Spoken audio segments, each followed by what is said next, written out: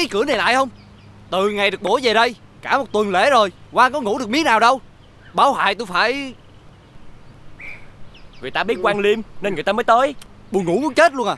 Chứ ở huyện này thiếu gì quan Mà toàn tham quan không à. Đúng không mọi người? Đúng, Đúng không?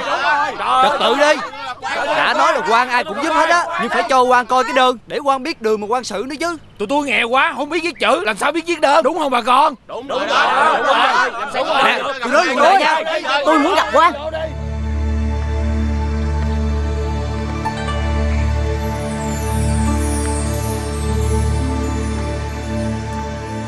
Bà có đơn chưa? Bà này gan quá. Ba ngày ba mặt. Dám hối lộ quan trên hả quan này là quan đàng hoàng nha? Chưa có đơn. Đứng qua một bên. Đây không phải là đồ hối lộ. Không phải là đồ hối lộ. Đưa bức tượng này làm gì? Đơn đó. Hả?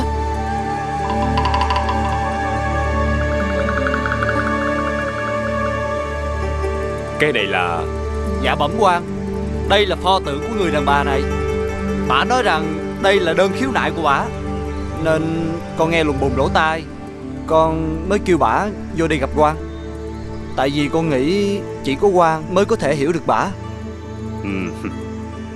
Thôi được rồi. Ngươi Lấy ghế cho bà ấy ngồi Và lui ra ngoài đi. Dạ.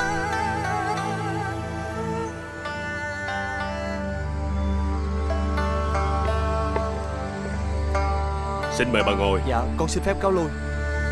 Dạ đội ơn quan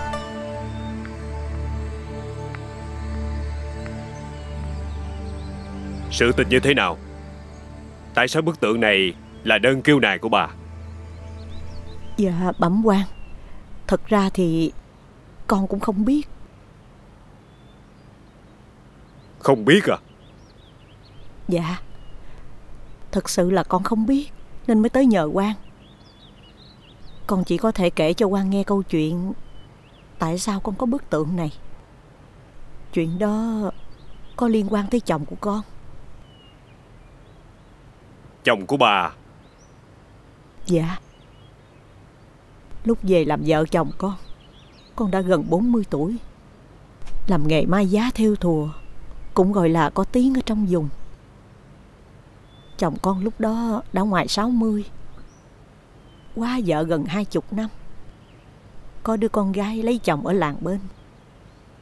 Có một thằng cháu ngoại Mà ông cưng như cưng trứng vốn dĩ Lúc đó chồng con không hề có ý định tục quyền. Hả? Không có ý định tục quyền. Vậy sao ờ,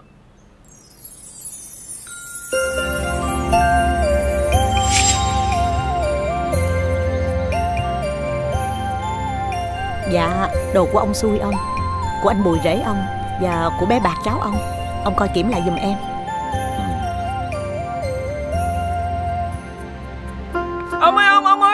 Trời ơi có sao không? Có sao không? Không có sao Không có sao Không có sao. Đứng dậy đi. Làm cái gì vậy? Ông ơi Con con té có sao? Còn cái này không có sao hết ông. Coi coi cái bàn tọa có bị bầm không? Rồi lấy dầu sức đi. Ờ, ôi mà ăn thua vậy ông ơi. Đó ông thấy chưa? Mới nhìn nghe ông nói là con cháu ông về chơi. Vậy là con sai sắp nhỏ. Để lao từ trên xuống dưới Từ trước ra sau Ngày hai ba bận mấy bữa nay luôn á. Ghét á Ông coi coi Cái nhà này nè Bóng hớn à Sạch trơn luôn á. Tới còn á Mà con bám không được Huống hồ cho hạt bụi. Bởi vậy Ông mới biểu thằng Đực với thằng Tèo á Bữa nay á khỏi chăn trâu nữa. Ừm, Ở nhà coi nhỏ Không khéo rồi nó bị té. Nhớ lấy đôi guốc bằng gót cho nó mang. Ở nhà Coi chừng thằng nhỏ Hỏng ấy no té đó cô thấy chưa? Ông con á Thương cháu quá trời quá đất.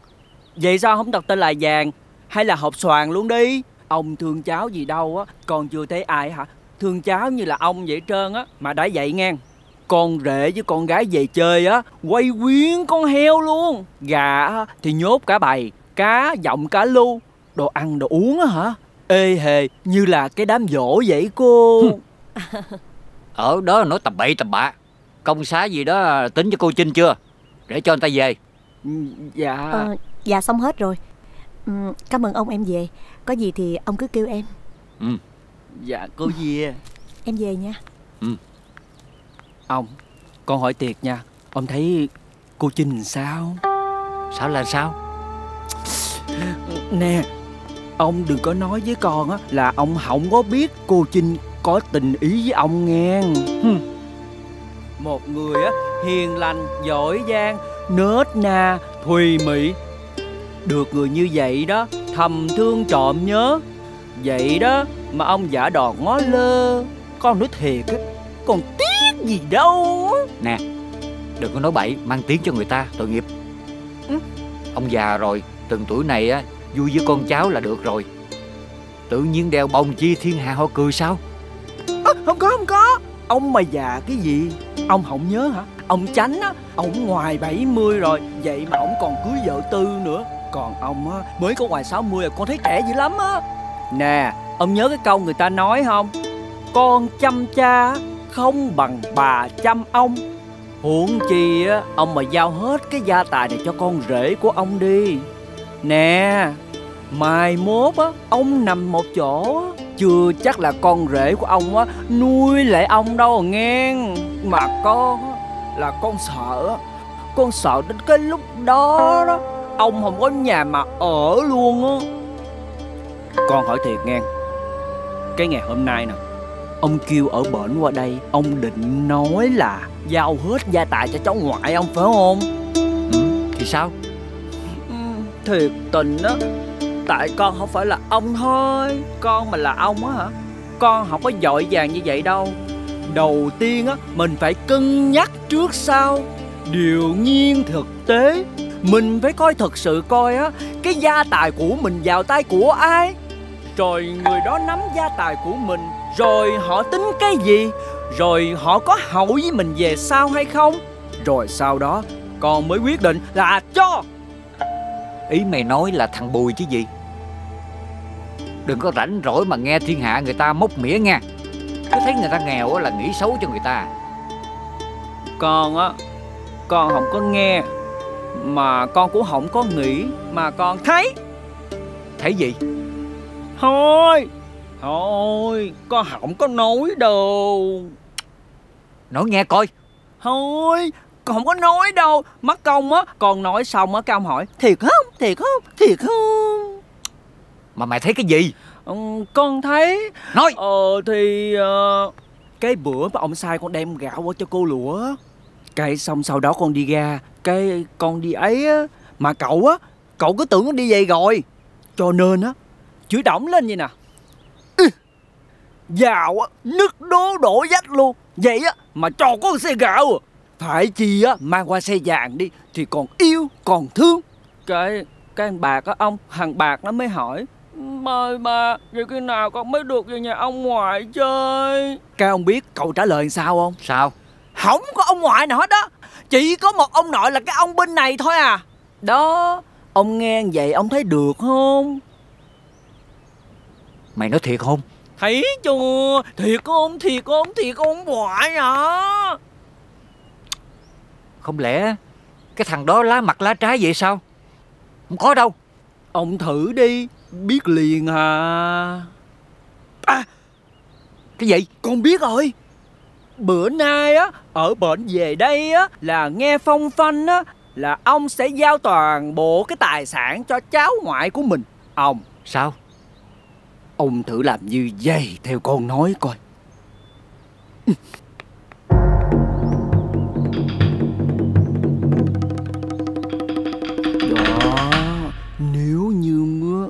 Mà đúng như lời của con nói á hả? Thì ông Ông biết rồi hen. Ông lo cho ông đi. Cô Trinh mà đổi ý hả? Ông được có tiếc rồi nha. Ta mà bây giờ lấy vợ, Dễ gì mà có con. Huống chi là con trai. Thôi, Con nào cũng là con. Thằng Bạc là cháu ngoại duy nhất. Giờ ta không cho nó là cho ai? Cô làm gì đứng đây vậy? Ờ, Dạ chào ông. Ờ, Chào cô cậu. Cô cậu mới về chơi hả? Cô làm gì ở đây? Làm gì ở đây mà lần nào tôi về? Cũng thấy cô lãng giảng trong nhà của cha vợ tôi là sao? Ờm, Dạ Tại vì à, lần nào cô cậu về Ông cũng đặt tôi may cái này cái kia làm quà. Cho nên May đồ. Đặt may thì may thôi. Làm gì mà lén lén lúc lúc Trình rập nhà người ta vậy hả?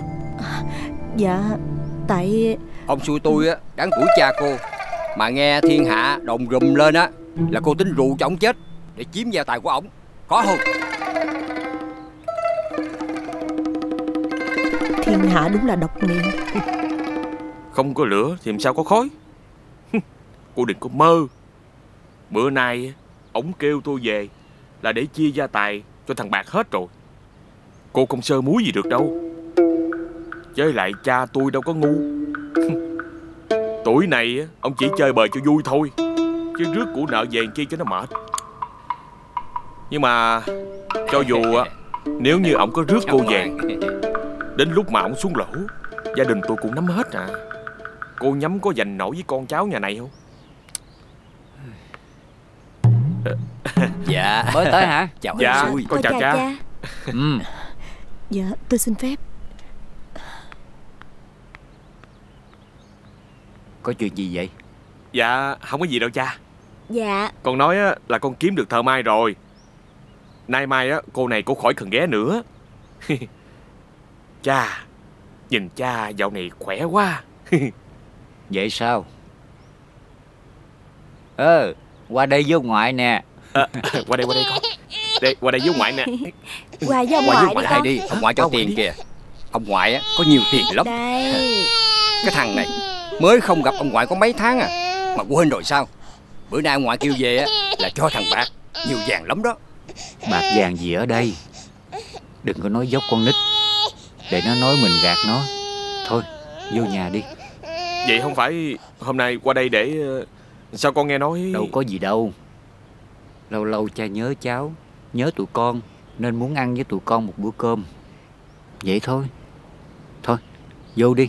Đồ ăn sẵn sàng hết rồi. à, Dạ Đi. anh Vô đi tụi con Biết trước như vậy? Đừng hòng tôi kéo cô tôi qua đây Trời ơi, Biết lắm mà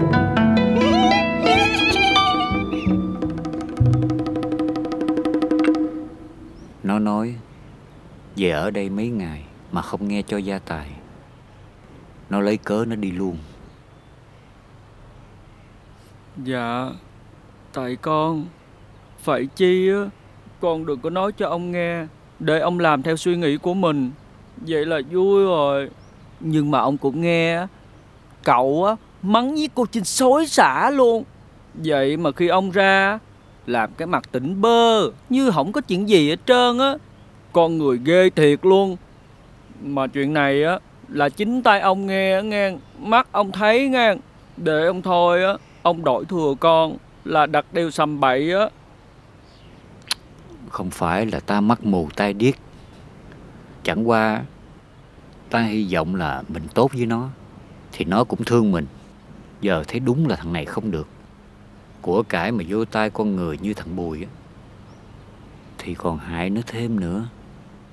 Bởi vậy ờ, à, Ông biết không Ông Ông tính sao Cái vụ gia tài này nè?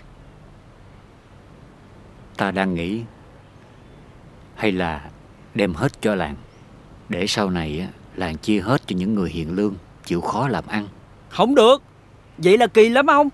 Mình làm như vậy á Là tội nghiệp cho chị Lụa với thằng Bạc Mang tiếng với con cháu á Là ăn ở thất đức Cho nên ông cha mình á Đem của cải cho hết người ngoài. Nó nói cũng có lý. Ông! Cái gì? Có một cách. Sau đó ít lâu Ông sai người đem lễ tới nhà Hỏi tôi làm vợ. Vợ chồng chung sống hòa thuận vui vẻ với nhau một năm sau trời thương, Tôi có thai thằng nhỏ. Lớn tuổi rồi, Tự nhiên có đứa con trai để nối dõi tông đường. Nên chồng tôi vui lắm.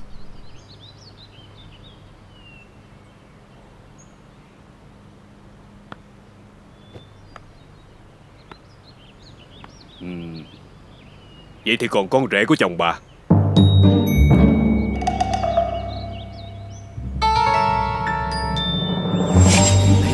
Con biếu cha Tự nhiên nhà mình có thêm người á Đúng là có phúc hả cha? Dạ. Phải.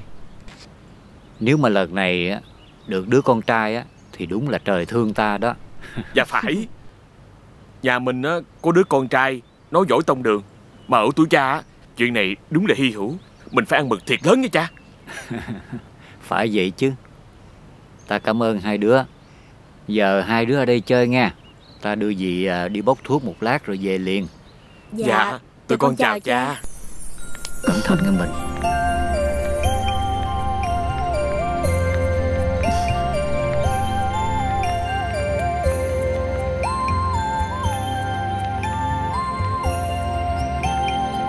Nàng có thấy gì lạ không? Ở tuổi của cha Làm sao có thể sanh con nhanh như vậy được Thì chắc là do cha khỏe mạnh. Khí lực dồi dào mạnh mẽ thôi. Không thể nào. Chắc chắn có khuất tất gì đây. Không thể nào tin cô mụ đó được. Ý chàng là Không lẽ Chàng nghĩ gì lẹo tẹo với ai hả? Phải rồi. Bây giờ cho dù có hay không Ta vẫn phải làm cho mọi người nghĩ như vậy Chàng Chàng tính du khống cho gì, tội ngoại tình hay sao? Vậy nàng muốn Đứa nhỏ mà mụ ta sinh ra cướp hết tất cả mọi thứ hay sao? Nàng không biết. Nếu nó thực sự là đứa con trai, Thì theo luật, Đương nhiên Nó sẽ thừa hưởng toàn bộ gia sản của cái nhà này.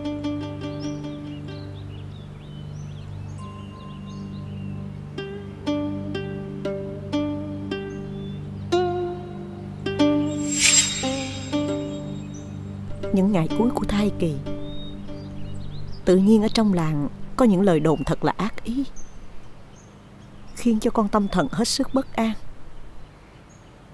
Có lúc tưởng chừng Không thể giữ nổi thằng nhỏ. Ủa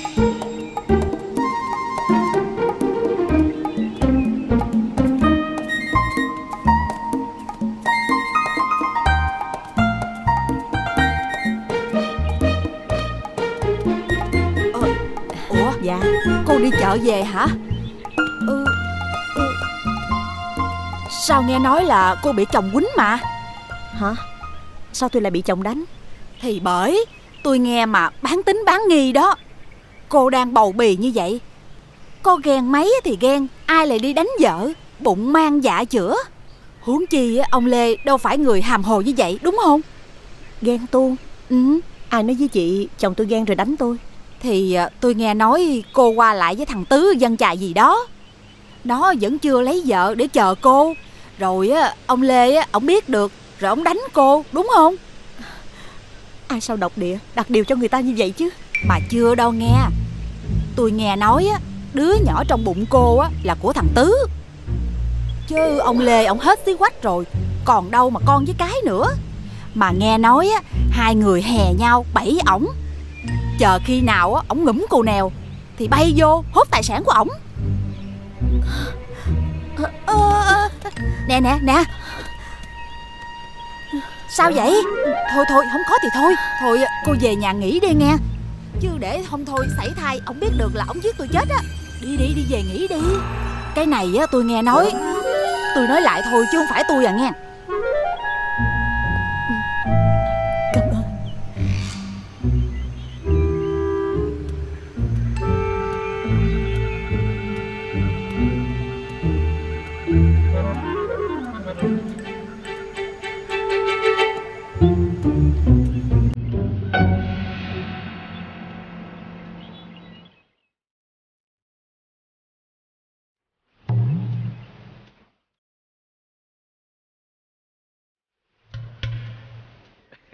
Thím làm tốt lắm. Tốt là tốt cái gì? Mày không thấy hả? Bà đang choáng váng Muốn xỉu đó. Bà mà xảy thai á Là là tao ân hận cả đời luôn đó. Nếu mà nó xảy thai Tôi sẽ cho bà thêm gói bạc nữa. Thôi đi Tội chết đó. Tao cứ tưởng á, là nói chơi thôi Chứ đụng tới mạng người á hả? Thôi tao không dám làm đâu. Được ít bạc á, ăn cũng hết Rồi tới khi chết á, không có nhắm mắt đó mày Bà muốn ngưng thì cứ ngưng. Nhưng mà nhớ lại coi Không phải bao nhiêu tin tức đồn đãi về cái nhà đó Từ miệng của bà chui ra hay Ừ, sao? Thì tại tao không biết. Ừ, Ờ cứ cho là tao tham đi. Nhưng mà Sao mày muốn hại bả dữ vậy? Dù gì á bả cũng là mẹ vợ của mày đó nha. Ông Lê á cũng là người tốt chứ bộ. Tôi không cần biết. Bà muốn làm nữa thì làm Không làm nữa thì thôi.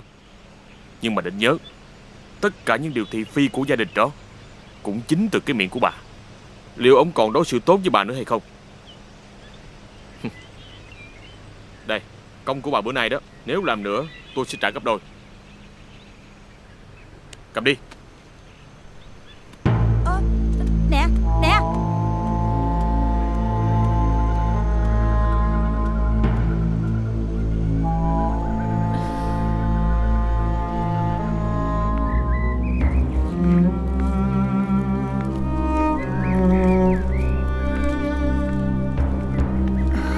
Kìa Minh. Mình sao vậy? Dạ. Hả? Em không sao. Em chỉ bị choáng chút thôi à. Đi, đi vô trong này ngồi đi. Đi đi, đi.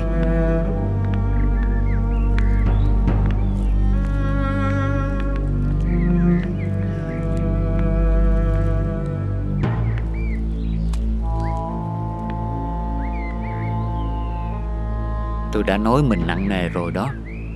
Chợ búa, nhà cửa có gì á, giao hết cho gia nhân Mình cứ nghỉ ngơi thôi. Mình cứ đi như vậy á Không có tôi bên cạnh. Có gì á, làm sao trở tay kịp? Em không sao thiệt mà. Mụ nói em phải xuyên đi lại cho dễ sanh. Em nghỉ ngơi một chút là khỏe lại thôi hả? Vậy thôi mình nghỉ đi. Để tôi kêu tụi nó Mang cho mình một chén sen hầm nha. Mình à? Mình có tin em không Sao tự nhiên mình hỏi vậy? Không có gì đâu. Em chỉ sợ mình không tin em. Ai nói gì Mình cũng đừng có nghe nha. Em chỉ có một mình mình thôi à. Đứa bé này Chính là con của mình. Em thề trên tính mạng của con đó. Tới tay mình rồi sao? Ủa? Bộ Mình cũng nghe rồi hả? Mình đừng có nghe những lời nhảm nhí đó Tôi mà biết đứa nào đơm đặt chuyện này á, Là tôi không tha cho nó đâu. Nói thiệt Tôi nói mình đừng đi ra ngoài á, Là sợ mình nghe ba cái chuyện nhảm nhí đó Rồi nghĩ ngợi lung tung thôi. Chỉ cần mình tin em thôi. Em sợ nhất mình nghĩ Em lấy mình vì của cải của mình. Tôi tin mình mà. Thôi Nghỉ đi Để à, tôi đem canh hầm cho mình ăn. Dạ.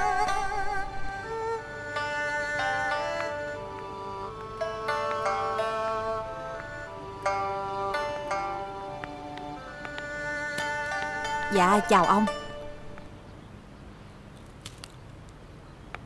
Thiếm đó hả? Tôi đang tính kêu tụi nhỏ Qua nói với Thiếm á, là có muốn mót lúa không? À, Tôi để cho mấy xào Dạ tôi biết rồi ông Nhưng tôi qua là để ừ, Để Gì đây? Sao lại đưa bạc cho tôi? Nợ nần cô trả hết rồi mà. Dạ vẫn còn. Tôi vẫn còn nợ ông. Đó là Tiền công của tôi đó. Tiền công? Dạ có người trả công cho tôi để hại ông. Đúng ra là Hại cô Trinh và đứa nhỏ trong bụng của cô Trinh Tôi không cần biết chuyện đó. Nhưng mà nếu á Thiếm thấy nói ra cho nhẹ lòng á Thì Thiếm cứ nói Tôi nghe. Dạ số là như vậy. Người đó biết tôi nhiều chuyện. À Biết tôi ruột để ngoài da Nên đưa tiền biểu tôi đi tung tin Cô Trinh cặp kè với thằng Tứ đánh dậm Cô nhận tiền rồi. Nhưng thấy vợ tôi bị choáng Nên không đành lòng Chạy tới đây báo tôi biết đúng không? Dạ đúng rồi. Mà sao ông biết hay vậy? Dạ chỉ tại Ông tốt với tôi quá cho nên Tôi không đành lòng làm thôi. Bây giờ tôi nói ra được rồi Tôi khỏe gì đâu á. Tôi còn biết Ai đưa tiền cho cô nữa kìa. Thiệt hả ông? Mà ai vậy ông? Có ai xa lạ đâu Thằng Bùi chứ gì Sao ông hay quá vậy? Ông nói một cái là trúng phốc luôn. Ờ Bây giờ ông biết rồi. Tôi nghĩ á là Nó sợ mất cái gia tài này Vô tay mẹ con cô Trinh Cho nên nó mới làm như vậy. Miếng ăn tới miệng rồi Mà mất ai mà chẳng tức. Mà như vậy rồi ông tính làm sao? Đây bạc của thím. Thím cứ giữ đi. Coi như thím chưa gặp tôi Đừng nói cho nó biết là tôi biết. Vậy hả ông? Ừ. Ông sợ là nó biết Ông biết chuyện này rồi làm cho nó thẹn chứ gì? Ông còn muốn giữ hòa khí với con rể hay sao? Ông á, đúng là người nhân đức thiệt. Thôi được rồi. Cảm ơn thím. Thím về đi. Dạ tôi cảm ơn ông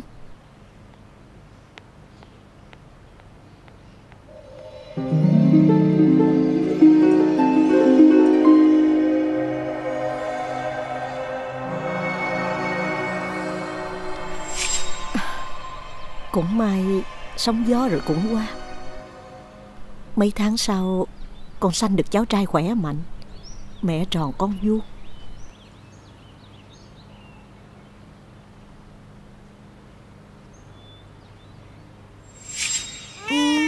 À, à. em dễ thương quá à. Ừ. Bà nghe cho rõ đây Tôi gia hạn cho bà thêm một tuần trăng nữa Bà phải ép ổng Lập di chúc để toàn bộ tài sản lại cho thằng Bạc. Chỉ cần ông chia tài sản lại cho thằng nhỏ này một chút thôi. Tôi hứa với bà Ngày ổng xuống lỗ Cũng là ngày mà tôi tính sổ với hai mẹ con bà. Mình à?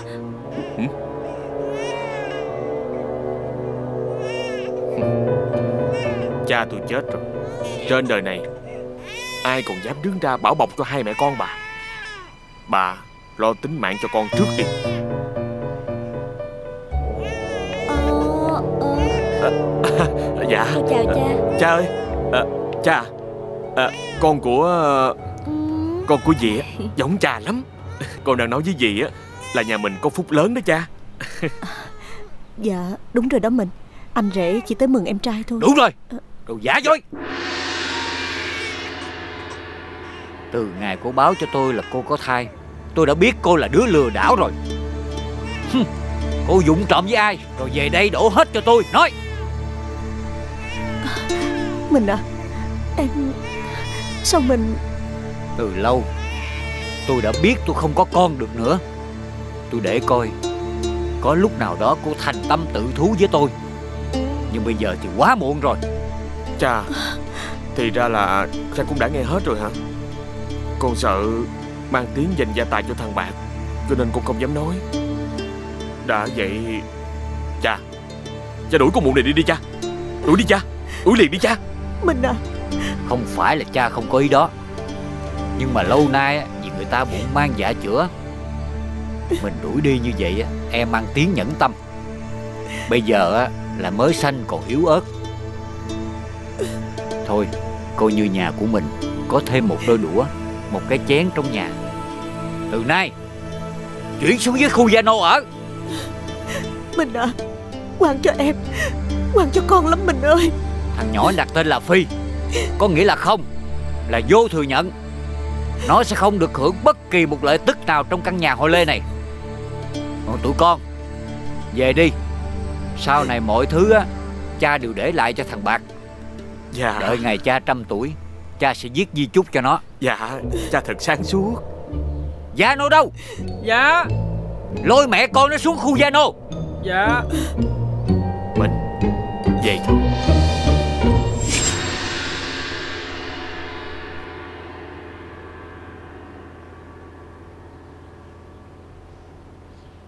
Cái này thì khó à. Tại sao bà nói ông già mừng lắm? Hay là ông chị giả bộ Để cố ý xoa dịu thằng con rể. Dạ. Cũng không hẳn chỉ là giả bộ. Không lẽ ờ, Dạ. Tối hôm đó Con mới hiểu rõ ngọn nguồn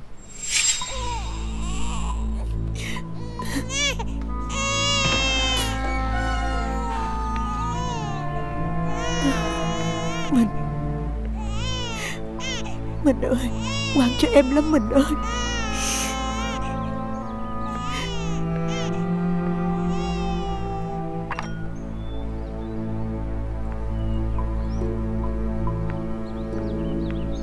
Đồ ăn còn nóng đó. Mình ráng ăn đi. Để có sức mà nuôi con nữa. Vậy ra Không phải mình nghi em một dạ hai lòng hả? Vợ chồng ăn ở mấy năm trời Tôi còn không hiểu mình hay sao?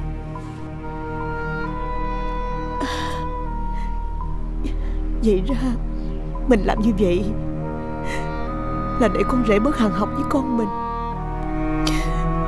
Nhưng mà Có cần phải làm tới mức này không?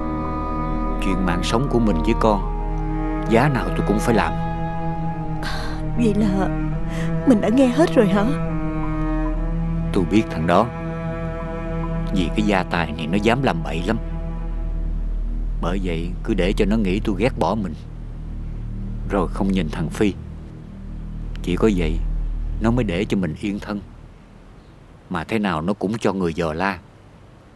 Nên tôi cứ để cho người trong nhà thấy mình ở đây. Thành ra bây giờ chỗ này là chỗ an toàn nhất. Rồi mỗi đêm, thằng Nô sẽ đem đồ ăn thức uống, Quần áo sạch, Mọi thứ cần thiết cho mình. Mình à. Nhưng mà em thấy lo lắm. Mình cũng biết từ trước tới giờ, Em đâu có màng tới gia tài của mình đâu. Sau này mình có trăm tuổi, Cho con bao nhiêu, Cho cháu bao nhiêu là quyền của mình, Em cũng đâu dám can thiệp. Nhưng mà thằng Bụi nói, Dù thằng Phi chỉ được một chút thôi, Nó cũng sẽ không tha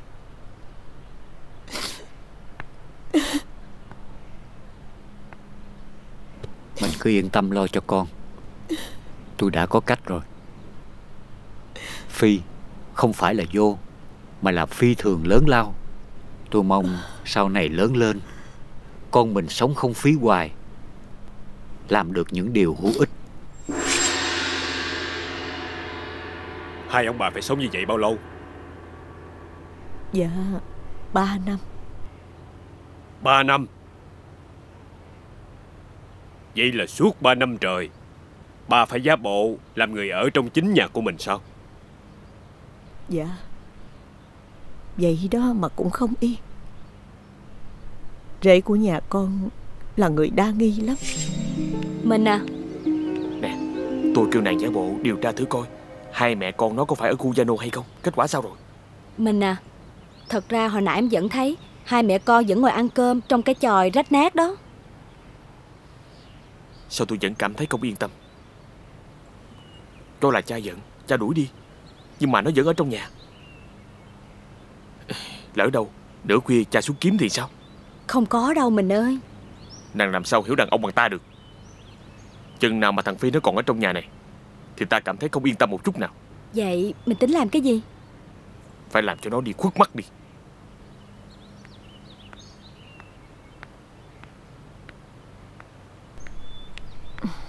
Dạ. Mời cô cậu uống nước. Người làm ở trong nhà này Cũng mướt mát quá. Đâu có thua gì kẻ ăn trắng mặt trơn đâu hả cô Trinh Dạ Nhờ ơn của ông đối tốt với người ăn kẻ ở trong nhà Nên tụi tôi cũng không đến nỗi tàn tạ. Ờ, Cô cậu có cần gì thêm Thì cứ sai biểu Nếu không tôi phải xuống bếp để nấu cơm. Cô Trinh à Cô không biết nhục hả Mình. Mình à. Đừng nói là cô không hiểu. Ngoại tình. Bị đài xuống làm đầy tớ. Chai mặt ở lại nhà chồng. Sao cô không đi luôn đi? Dạ Mong cậu hiểu cho. Mẹ con tôi bây giờ không nơi nương tựa. Cứ coi như là tá túc ở đây Kiếm ăn qua ngày. Có nhục cũng đành chịu Đi đi. Tôi sẽ cho cô ít vốn. Dạ Thực sự bây giờ tôi cũng đã có tuổi rồi. Lại còn thêm con mọn nữa. Cũng không biết phải đi đâu. Mong cậu thông cảm. Cái cùng mũ mặt dày này. Mình à? Cô. Dạ Con chào cha. À, Dạ cha. Tụi con ra giường coi thằng Bạc. Nó đang leo trèo trên cây thăng thoát vậy đó. Cháu ngoại ta sau này lớn lên Nó khỏe mạnh lắm đây. Dạ phải vậy chứ cha. Vậy thì nó mới có sức. Cai quản ruộng vườn cô ngoại để lại chứ. Dạ đúng Phải. đó cha. Đi đi Ra ngoài coi nó. Dạ.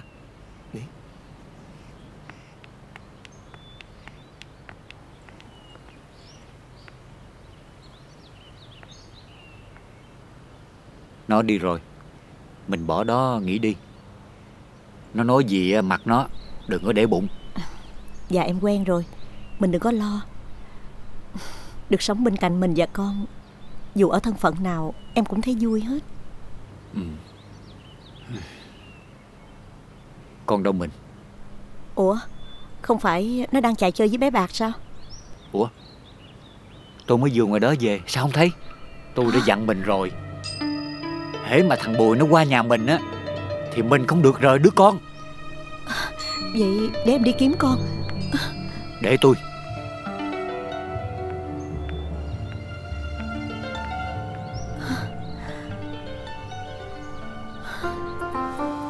Nè con trai Con chỉ ngồi ở đó chơi thôi Không được leo lên cao nữa Nguy hiểm lắm biết chưa? Dạ.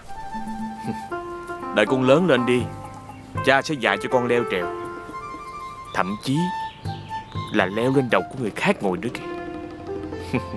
Nghe chưa con? Dạ Phi Phi Lên đây chơi bạc nè. Nè, Mày đi đâu đây? Ừ? Nếu mày ở ngoài sông, Tao đã quăng mày xuống sông rồi.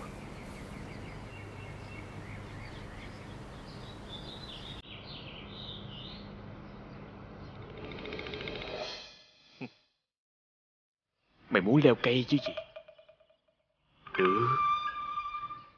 Tao sẽ cho mày leo cây. Leo càng cao càng tốt.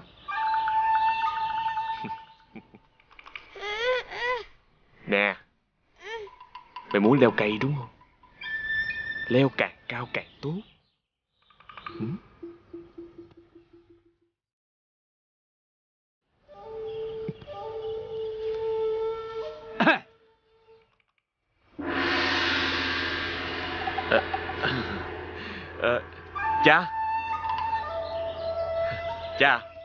Nói đồ leo cây. Mai mà con ra kịp đó cha. Không sao.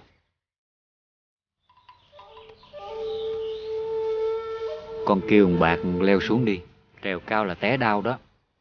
Dạ Bác xuống đi con. Xuống đi. Đây. Dạ Tụi con vô nhà nha cha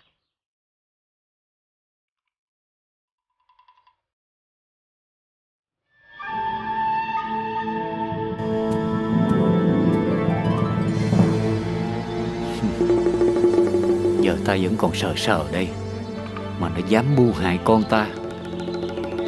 Lỡ ngày nào ta khuất núi, Thì ai bảo vệ con ta?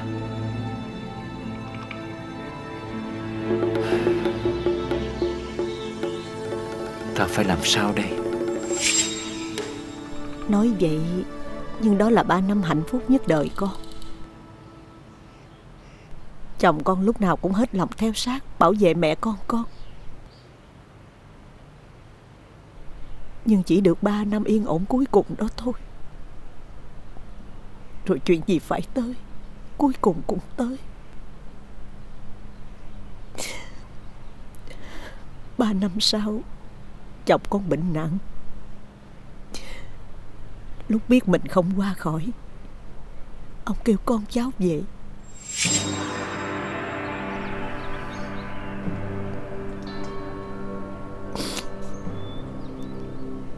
Cha biết lần này cha sắp đi xa, Cũng như lời hứa trước đây. Hôm nay trước mặt đông đủ cả nhà, Cha muốn công bố di chúc công khai để cả nhà mình sau này khỏi ai thắc mắc nô, bây giờ đọc đi con. Dạ.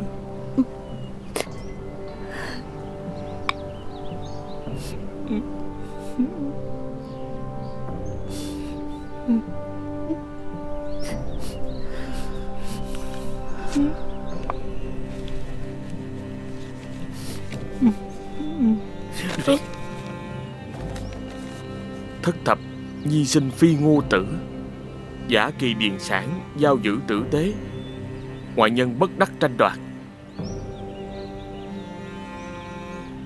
Câu này có nghĩa là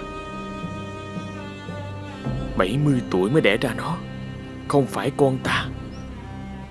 Ruộng đất ta giao cho con rể. Người ngoài không được chiếm đoạt. Đúng rồi. Cha ơi, Con cảm ơn cha. Cha hiểu con lắm cha ơi. Không ngờ cha hiểu con như vậy. Con cảm ơn cha.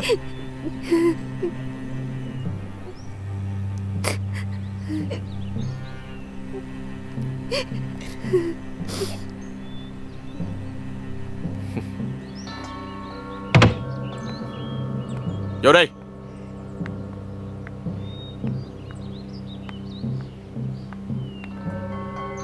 Cho mẹ con mà ở chỗ này á, Là phước lắm rồi đó. Đáng lẽ ra chiếu theo di chúc, Tống cổ hai mẹ con bà ra ngoài đường cúng dường. Nhưng mà thôi, Thấy bà cũng ngoan ngoãn biết điều. Từ nay coi như xong, Khỏi phiền nhau nữa. Ai mà ngờ đâu cái lão già đó Cũng bạc dữ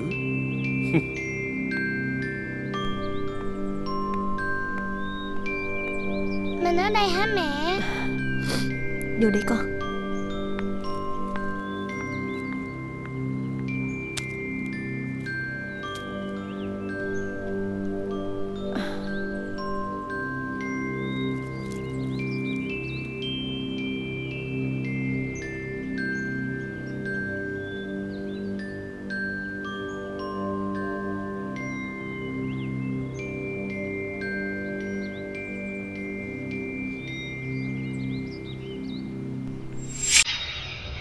Mình ơi.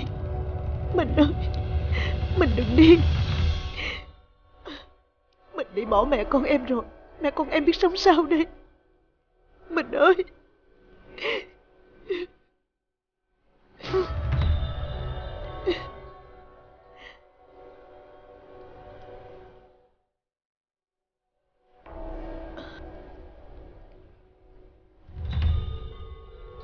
Mình muốn lấy cái này hả?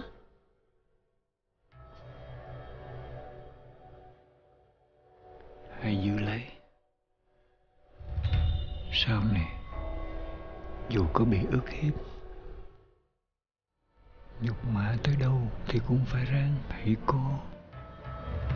Sống mà để nuôi con đúng ngày thằng phi 18 tuổi, sẽ có một vị quan. Về đây thì đem tượng này tới quan. Rồi nhờ quan phân xử. Hãy nhớ lấy mình à? Mình Mình ơi. Mình Mình ơi. Mình ơi. Mình ơi. Mình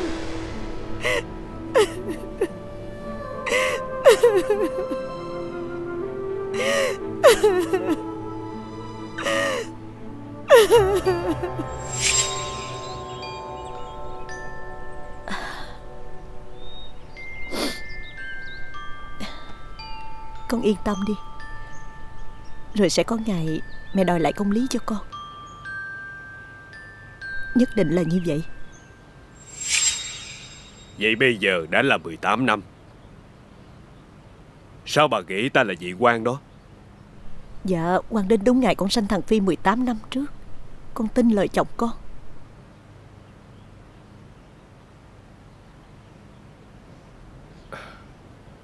Nhưng mà thật ra, ta vẫn chưa hiểu ý của ông nhà là gì. Bây giờ ờ, ta cần thời gian xem xét. Bà cứ về đi. Tạm thời, bà cứ để bức tượng này ở đây. Dạ. Đội ơn quan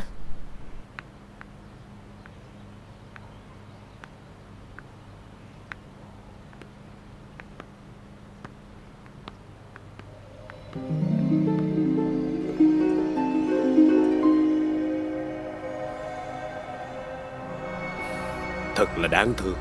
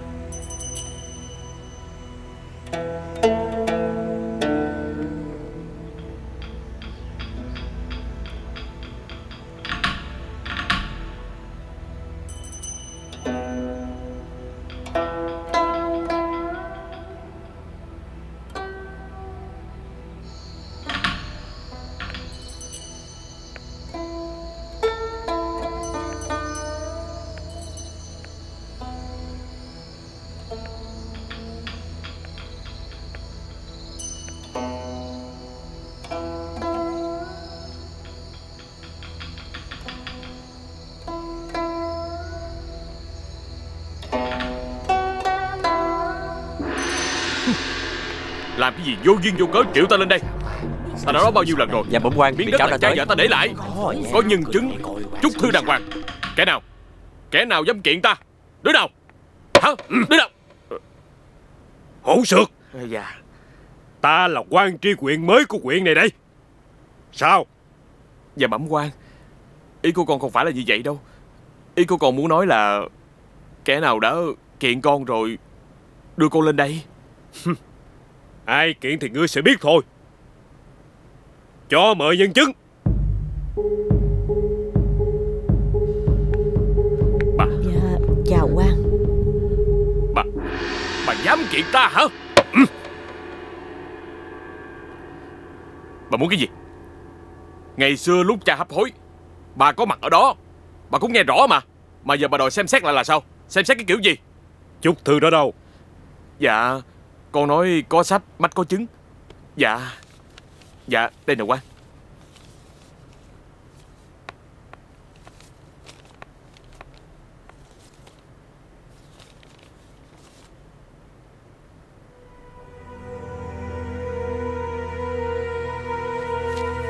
Chúc thư này không hợp lệ.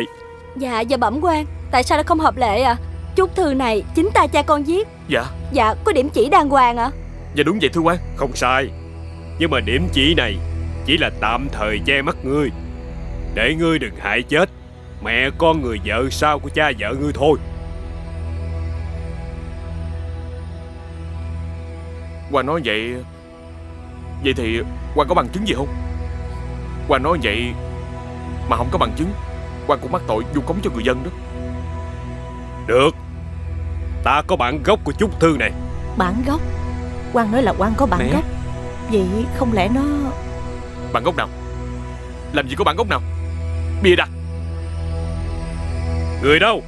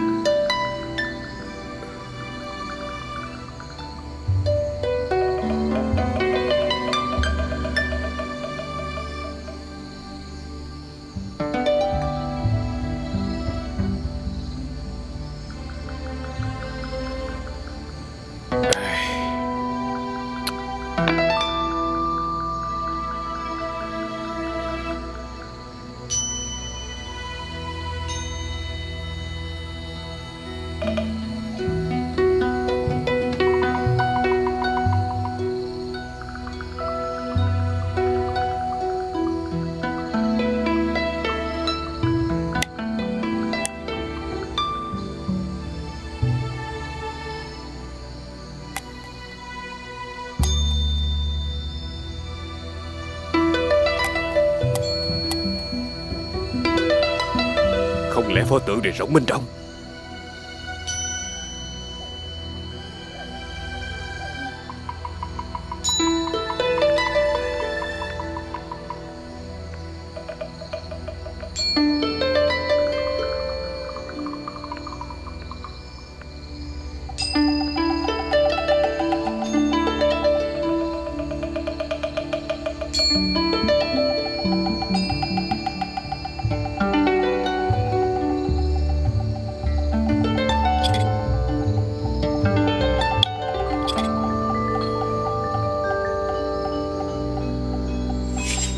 Có nhớ pho tượng này hay không?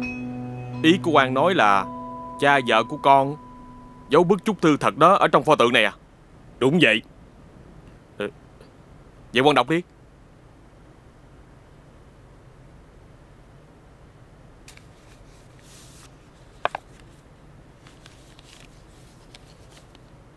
Ngươi xem đi sẽ rõ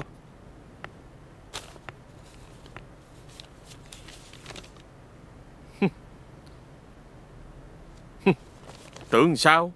Nghe cho rõ đây. Ruộng đất ta giao cho con rể. Người ngoài không được tranh giành. Có khác cái gì đâu.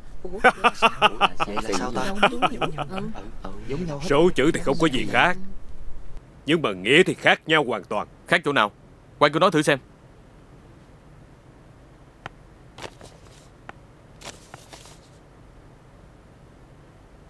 Bản trong pho tượng Có thêm mấy dấu phẩy. Ngươi nghe cho rõ đây 70 tuổi mới sinh thần phi. Đó là con trai ta. Ruộng đất ta trao cho con. Rễ người ngoài không được chiếm đoạt. Quan thông minh quá. Hay quá. Ờ Không thể nào. Cái này là giả mạo. Ta không phụng đâu.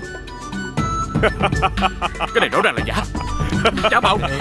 Mừng quá mẹ. Bức thư này là giả mạo. Đây là giả mạo. Không phục Ta không phục Ta không phục đâu.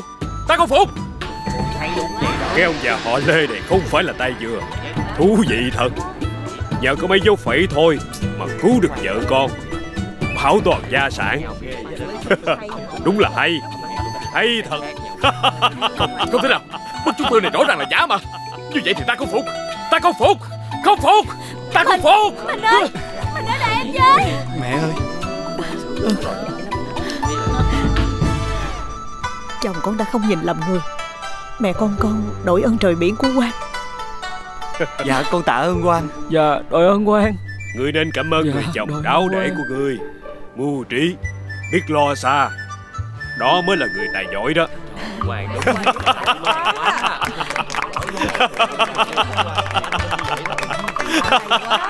Quan tài giỏi ghê. Có quan hết đó